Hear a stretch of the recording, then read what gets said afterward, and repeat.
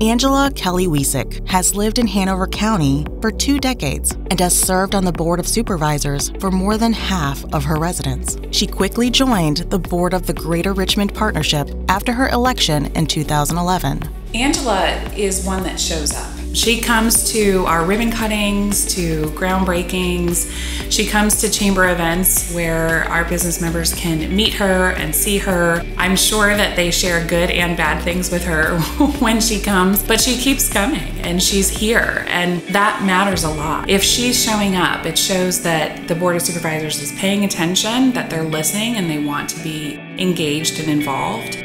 Angela's direction on the GRP board has resulted in a capital investment of $4.25 billion and more than 18,000 jobs for the community.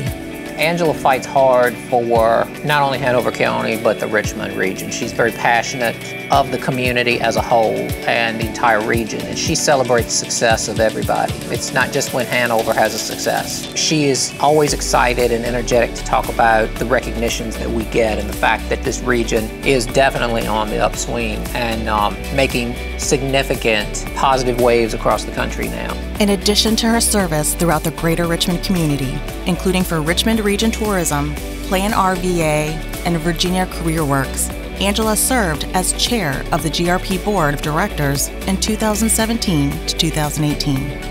When I think of the Ukrop family and I think of the service and history that they have in the greater Richmond region, much of that is associated with them being an extremely strong and engaged business citizen and very community focused, not only for, for the greater Richmond area, but the entire region as a whole. And I, I have seen Ms. Kelly Wiecek take her hard work here in Hanover County, uh, apply that not only to projects that she does here, the businesses that have been able to engage in her district, but also the greater Richmond region. And I, I think that that sustains some of that commitment that the Ukrops family has made to this region and the success that ultimately has resulted.